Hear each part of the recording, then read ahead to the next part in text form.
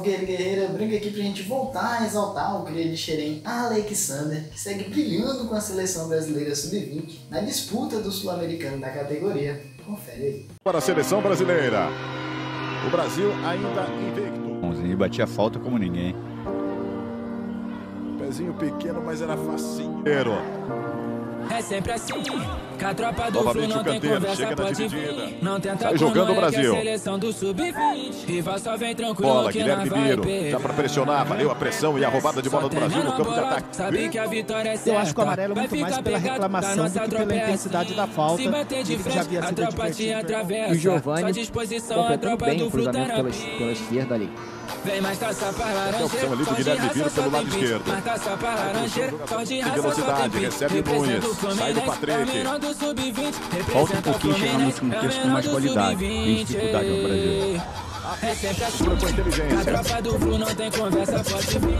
Não tenta com Vem moleque, de a Brasil, Alexander. sub-20. Rival só vem tranquilo que nós vai pegar. O Brasil tem que jogar na bola, tem que ir na bola. Alexandre Miro vai passar, ele arrisca o chute. Vai ter abertura. Guilherme Miro pode bater de a a Bola passando pelo meio. Guilherme Miro faz a tabela. Robert Renan. Utiliza bastante nessa campanha. Depois tá a tropa Brasil do Flu não tem bola. conversa, pode vir. Não tenta com não ganha essa moleque, a segunda bola seleção do quando perdeu, o Paraguai já Rival só recupera vem tranquilo que nós vai pegar. Só tem menor bolado, sabe que a vitória é certa. Bom passe, boa saída de bola.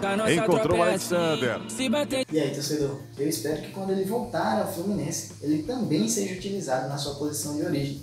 Até para o Flu já ir se preparando também para a saída do André, que deve fazer o seu último ano com a camisa do Fluminense. Mas te pergunto, você prefere o Alexander atuando como volante? Acha que ele vai brigar por titularidade no Fluminense em 2023? Então deixa aqui nos comentários, se inscreve no canal para continuar recebendo conteúdo variado do Flusão. Like se gostou, dislike se não gostou, compartilha esse vídeo aí nas suas redes sociais. Cheiro, saudações, clubes.